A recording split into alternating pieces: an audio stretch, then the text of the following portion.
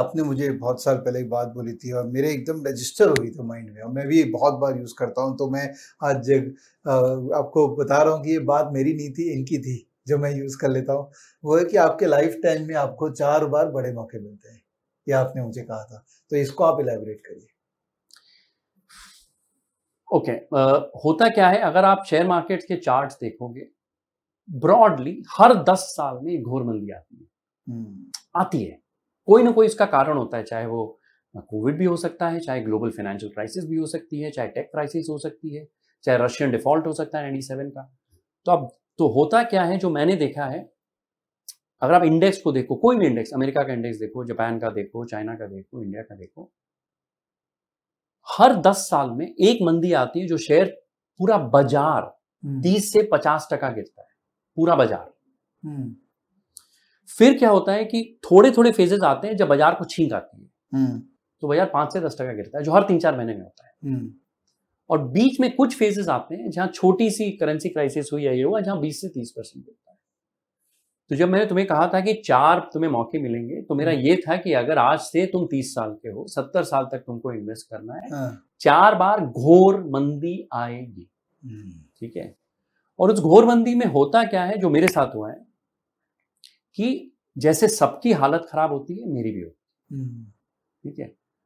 तो इसमें कोई दो राय नहीं है कि आ, मैं भी इमोशनली डिप्रेस रहता हूँ। हम्म। मेरी हालत भी खराब है। जैसा तुम फील करते हो मैं भी वैसा फील करता हूँ।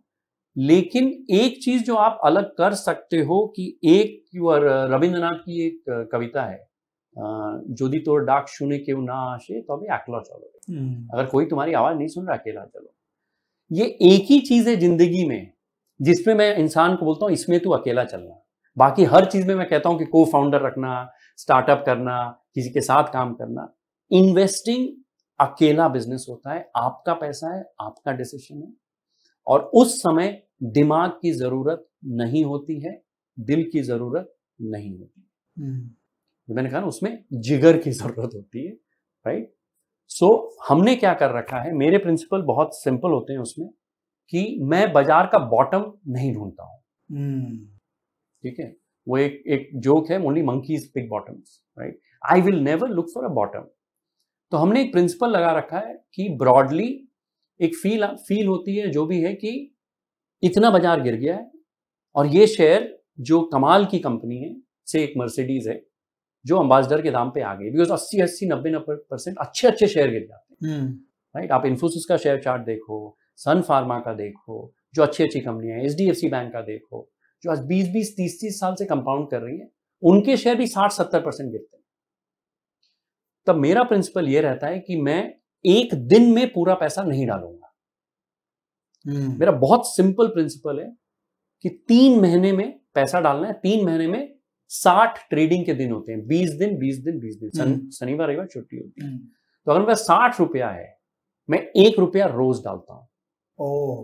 और फॉर्मूले जैसे डालता हूँ ओके तब दिमाग नहीं लगाता हूँ और तब बाज़ार भी नहीं देखना होता है क्योंकि रोज लगेगा कि आज पैसा डाला कल खो गया बढ़ गया ये होता है हम्म। लेकिन वो जो तीन महीने का पीरियड होता है उसमें आप अगर मेथोडिकली पैसा डालो डिस्पैशनेटली पैसा डालो तो मुझे लगता है कि ठीक ठाक रिटर्न आते हैं लेकिन फिर वही तब आपको जो ये जो कालीन है ना प्यारे वाले वो कंबल के दाम मिलते हैं। हम्म। ठीक है? तब भी वो आपको डोरमैट के दाम पे नहीं मिलेंगे। तो आप ये मत एक्सपेक्ट करो कि H D F C bank अगर सौ रुपया था आज पचास हो गया है मैं बीस रुपए में खरीदूँगा। ऐसा नहीं होता है। एक आपको समय आता है जब थोड़ा रिस्क लेना पड़ता है लेकिन तब आप ये मत एक्सपेक्ट करो कि मर्सिडीज आपको साइकिल के दाम में मिलेगी। वैसा नहीं होता